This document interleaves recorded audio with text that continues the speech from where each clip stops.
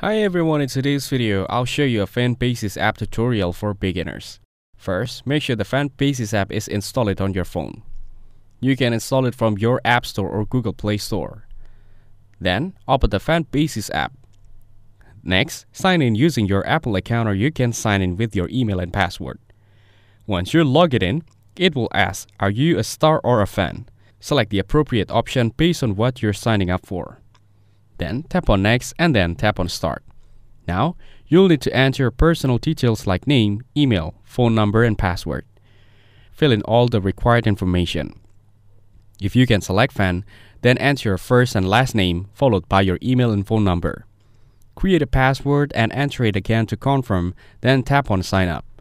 After that, you'll see different sections like active and expired to manage your subscriptions or requests. Now, go to the request section to see your current and past requests. Next, check the membership option to view or manage your membership status. Then, tap on Settings. Inside Settings, tap on Auto Renewal to manage your subscription preferences. Now, tap on Affiliate Dashboard to check your affiliate status. Then, tap on Become an Affiliate. Here you can send a request to join the affiliate program.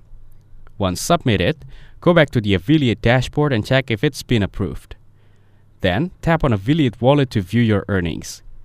Here, you can check your pending balance and available balance.